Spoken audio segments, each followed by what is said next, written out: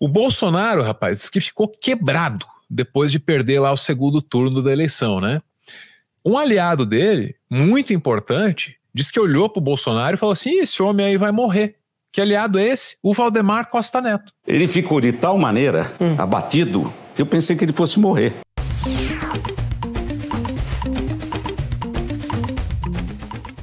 O Valdemar Costa Neto passou pela Globo News, concedeu uma entrevista lá, um negócio assim avassalador, várias declarações ali que me pegaram de absoluta surpresa, viu?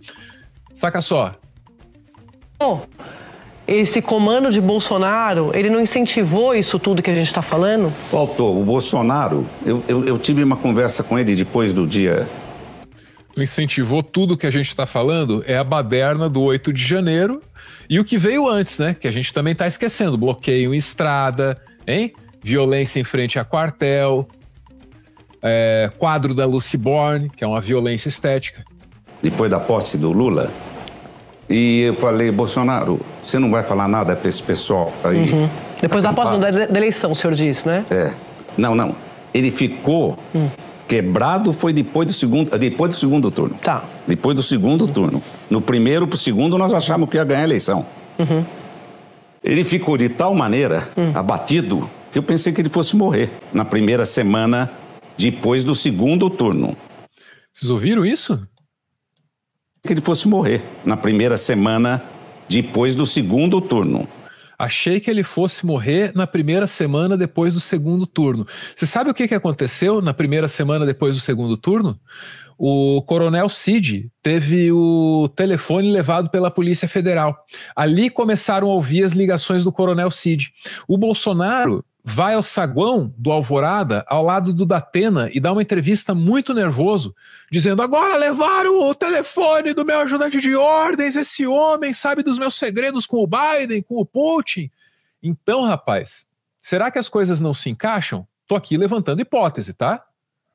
Tô, tô aqui conectando fatos que podem não estar conectados. Então tomem cuidado com o que eu estou dizendo.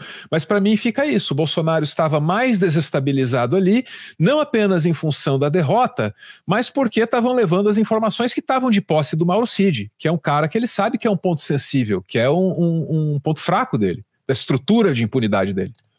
Mas depois eles estavam lá resolvendo o negócio das joias, lembra? Sim. O resgate das joias em dezembro? Sim. Então, mas acontece que ele, ele, ele, ele, passou por um período. Eu perguntei para ele. Hum. Eu falei, Bolsonaro, você não vai falar nada?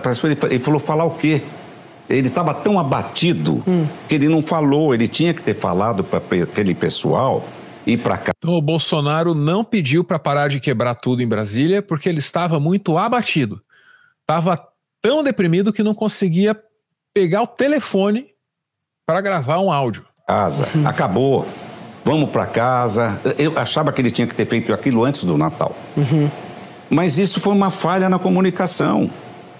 O Bolsonaro ficou muito abatido depois da, do, do segundo turno. Foi uma coisa impressionante. E aí ele teve esse problema. Ele não conseguiu se dirigir a essa gente, deixou essa gente triste, porque Inclusive, muita gente pensava que ele, que ele queria que o pessoal continuasse lá. E...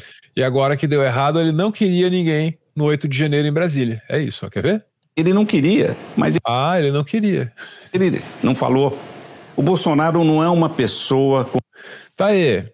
Tá aí o Valdemar na Globo News, ele disse mais coisa, a gente vai falar a respeito dessas declarações dele em outras oportunidades. Ao meu lado está Eric Gildantas, economista do Observatório Social do Petróleo, comentarista político do Meteoro por o Dia, também sendo colocado a par aqui das fofocas de Brasília, rapaz. Interessante, porque não, quando tem Jair, Michele e Valdemar na mesma notícia, meu amigo, é fofoca também, não tem jeito. O Valdemar, você sabe, né? Ele tem uma ex, com quem ele não foi assim emocionalmente responsável. Essa aí se separou dele, saiu dirigindo um carro, gravando um vídeo, falando que a peguete dele se chamava Michele Bolsonaro. Então tem essas histórias aí no meio, tá? Longe de mim fazer fofoca, eu só estou interessado na política, viu, Eric? Mas tá aí, estão aí as desculpas para esse dinheiro todo e estão aí as declarações do Valdemar dizendo que Bolsonaro é um homem mentalmente frágil que quase morreu depois de sua derrota. Caramba, hein?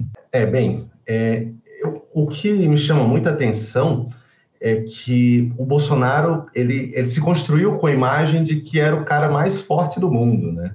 Todo, a, a esquerda é um monte de mimimi, vocês choram por tudo.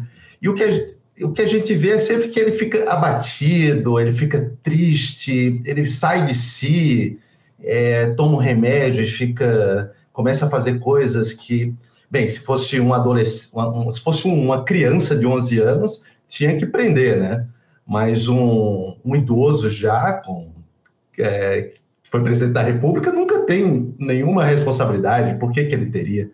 É, então me chama sempre muita atenção isso de como que eles tratam é, o, o, mimimi da esquerda e como Bolsonaro e toda a família dele é chorona. O, bem, Flávio Bolsonaro tem, o, tem aquela, aquele episódio lá, né, no, no debate para governo, para a prefeitura do Rio de Janeiro, se cagou, né?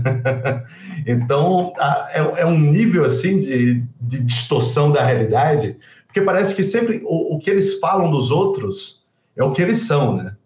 O, quem que é o, o a, fra, politicamente muito frágil, são eles quem é emocionalmente muito frágil são eles. O que, que foi a Dilma? A Dilma foi um, uma figura que, que aguentou tanta coisa sem, sem nunca pestanejar. O Flávio Bolsonaro não aguenta um debate, um debate televisivo. O Bolsonaro vive chorando, vive doidão por aí, sempre, sempre falando, fazendo as besteiras dele, falando que não sabia, que estava sob efeito de remédio, que ele estava triste, abatido. É, então, sempre, chama muita atenção isso, né? Mas eu acho que vai ficando cada vez mais difícil é, apoiar o, o, o, bolsonarismo, né? Acho que vai, vai é, serve para ir mostrando que ah, você, só, você só apoia isso é, deixando de lado todas as todas as questões de corrupção, de ineficiência, de incompetência, né? Porque com as joias, com, com isso aí, de... Bem, imagina se, imagina se fosse a Janja comprando no cartão da amiga porque o Lula é pão duro.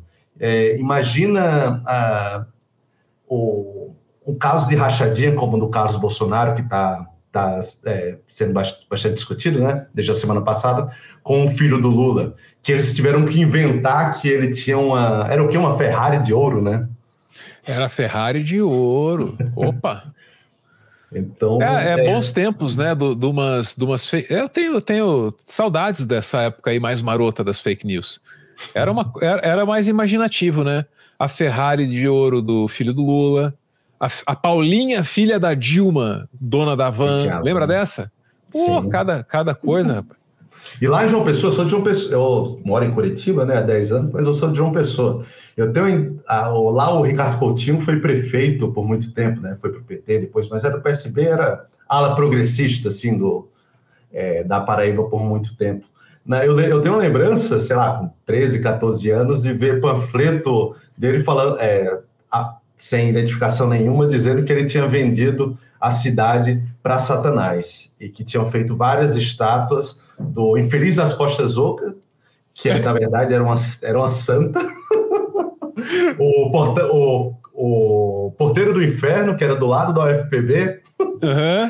aí falava outras aí. Então era bons tempos. Antes de te liberar, eu, eu, sei que você tem que ir, Eric, você, só, só, você me ativou a memória de uma fake news analógica antes da internet. Eu desci no terminal de ônibus aqui, era candidato a prefeito Ângelo Vagnoni. Você deve conhecer essa figura, gosto muito Sim. dele. E uhum. o, o Ângelo Vagnoni, rapaz, estava num papel que me deram no terminal de ônibus, juro para você, com uma grinalda de merda. Você olha, olha o bom gosto do pessoal. Colocou o candidato que eles não gostavam com uma grinalda de cocô em volta, assim, ele vai transformar a cidade num cocô. Daí, quando virava o outro lado do panfleto, falava em roubar a casa da gente, metade do carro, comunismo, tudo isso. E era 90 ela vai pedrada, hein? Chuto aí 94, não lembro que eleição era essa. Alguma... Não, acho que 94 era para presidência, tinha que ser tinha que ser é, depois, talvez 96. 96. Talvez 96. Mas eu lembro, fake news, fake news analógica. Fake news Sempre analógica. teve, né? O alcance é que mudou o nível de alcance é. e, um, e as campanhas do Bolsonaro serem pautadas, serem alicerçadas nisso, né? É. Antes era só uma, uma tática para soltar ali sem. Ó, ninguém, ninguém sabe quem fez esse panfleto, né? E tinha que ser panfleto. Porque não, aqueles e-mails lá não chegava para muita gente, não. É. Eric, obrigado, tá? É... Bom trabalho aí. Eu sei que você vai ter que conversar com muita gente ainda sobre os acontecimentos deste dia. Agradeço a tua presença aqui, viu? Obrigado, Álvaro. Obrigado ao Meteoro, é, que sempre dá, nos dá esse espaço. É, Para quem tiver mais interesse, pode seguir aí as redes do Observatório. Aqui está o, do, do, Instagram do Observatório. A gente está tá acompanhando muito de perto a questão das mudanças do PPI. É, novamente, não é, ainda não, não temos o, o que gostaríamos. Acho que o abrasileiramento ainda não chegou de fato, né? mas a gente já deu um grande primeiro passo. O fim do PPI e o fim do atrelamento é, é, do, dos preços internacionais. Agora a gente tem um, uma abertura, a gente pode pressionar a Petrobras. E lembre, o Lula falou: não, o governo não precisa de tapinha nas costas.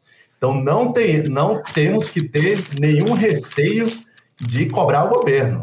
É, senão, o, é, o, é se não tiver coragem de descer o preço da gasolina, descer, é, descer o preço do diesel, GLP, o bolsonarismo vai voltar. E vai voltar muito pior, porque vai voltar com gente que está pouco se lixando do Bolsonaro com joia da Arábia Saudita, com cartão de crédito da Michelle. Então, é, nos sigam nas redes sociais. Obrigado Álvaro, obrigado, Meteoro. Estamos sempre à disposição.